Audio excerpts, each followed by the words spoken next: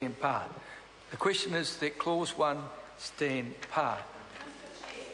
I call the honourable member Eugenie Sage. Thank you, Mr Chair. This is a very dismal process. We've got a bill that's been put forward by the Minister that attacks the very integrity of conservation land. We've had a process which is totally anti democratic.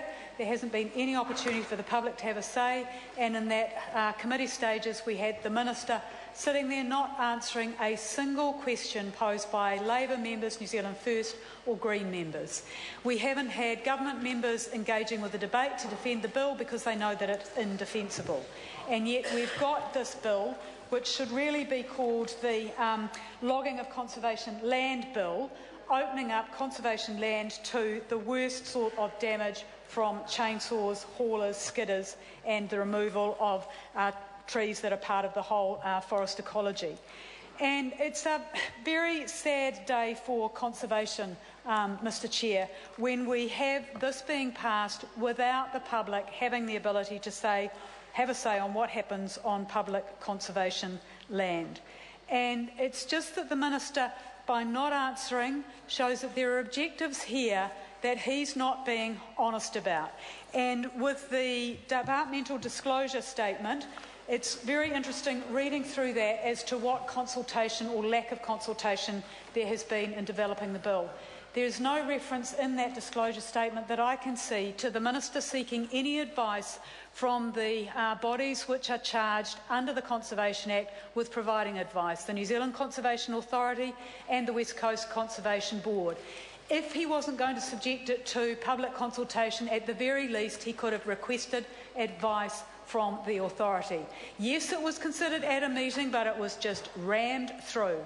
He didn't ask for uh, their advice. So, again, Minister, you had the opportunity um, to respond to the questions. You haven't done that. What is the agenda here? You have highlighted that we haven't closed off the um, likelihood that this will be applied to other conservation land, and we've seen with the very dismissive way that you've treated the uh, amendments which were proposed by opposition members. My amendments were suggesting that there be a ban on heavy machinery such as skidders and haulers that there be a prohibition on new roads and vehicle access tracks being constructed. The fact that they have been dismissed without even any comment means that the government is not serious about minimising the damage from these logging operations. There's been no consideration of other amendments to uh, prevent the spread of weeds with the introduction of skidders and haulers, um, new roads being constructed, we are going to be damaging the integrity of areas which at the moment have very few um, exotic plants, very little weed spread, but the Minister won't even consider a uh, small amendment to make sure that there is little or no risk of um, exotic plants being introduced.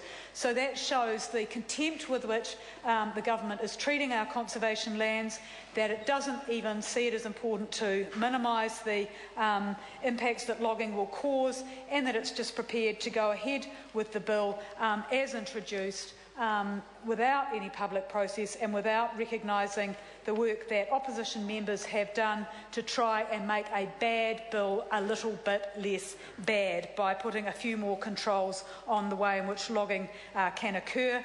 And as uh, Mr Prosser New Zealand First noted, the way in which the bill um, allows the export of sawn timber means that it won't um, minimise the amount of timber that's taken off these conservation lands, that it will be creating a big market uh, overseas for our treasured native trees. This is a very bad bill from Mr Brownlee's comments when he um, led off in the speeches.